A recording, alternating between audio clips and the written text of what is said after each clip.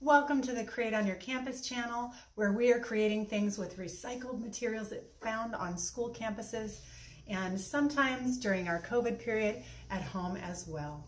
So today's project is using fabric, which is part of our focus this month, and we are making a mascot. So this mascot was the inspiration, and we got our hands on this. It's made of fabric on the outside, there's fluff on the inside, and then fun decorations that uh, different kids have participated on adding. So here's how we're gonna get started. We're gonna take a water bottle and fill it with a dried rice or beans. So I've done that already. So simple. Don't even have to take the label off.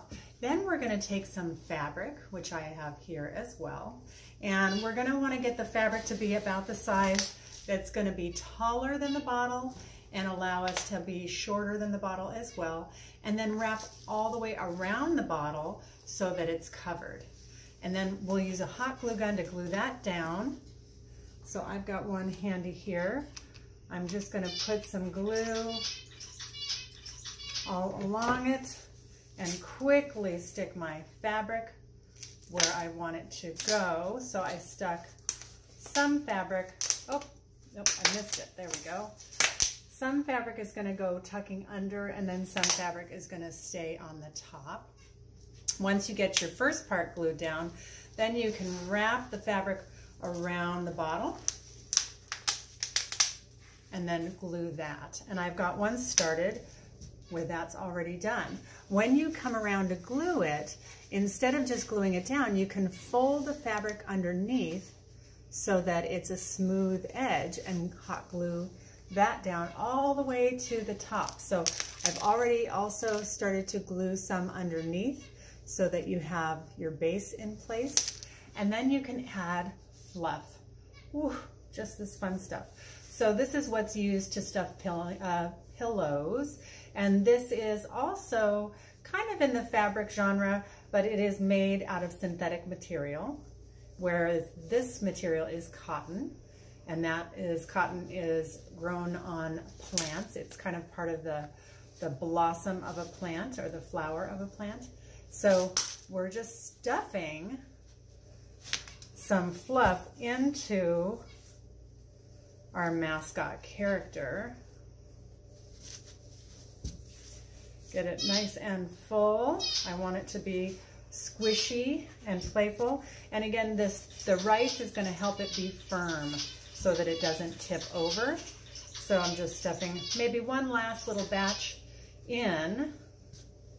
And then I wanna get ready to close the top. So I'm just organizing my fabric pieces and I'm gonna close the top. You can either just press it flat and close it, or you can also kind of fold it down and close it, or you can fold both parts in to close it, which is what I'm gonna do. So I've just folded in all the sides, all the parts of the top to close. But before I close it, I think it will be fun to add something like hair.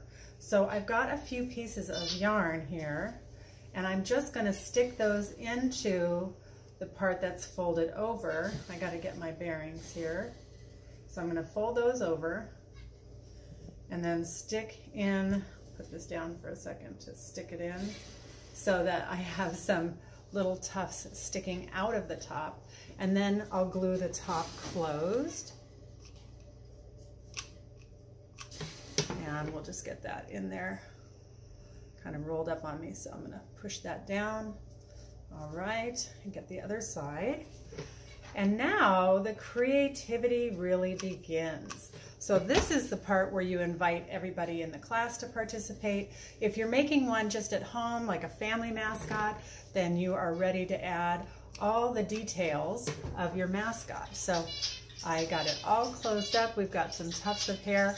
And just to leave you with a little idea, I'm gonna add some eyes. So I have a few buttons. I'm gonna glue those on. And that gives you kind of the sense of how your character can look. And if it's a mascot for the classroom, it can be the classroom mascot, it can be a book reading mascot, it can be lots of different kinds of mascot possibilities. I hope you like this idea, getting started on your own mascot for the classroom. We'll see you another, next time for another fun project that involves fabric again. Have a great day and we will see you again soon. Bye-bye.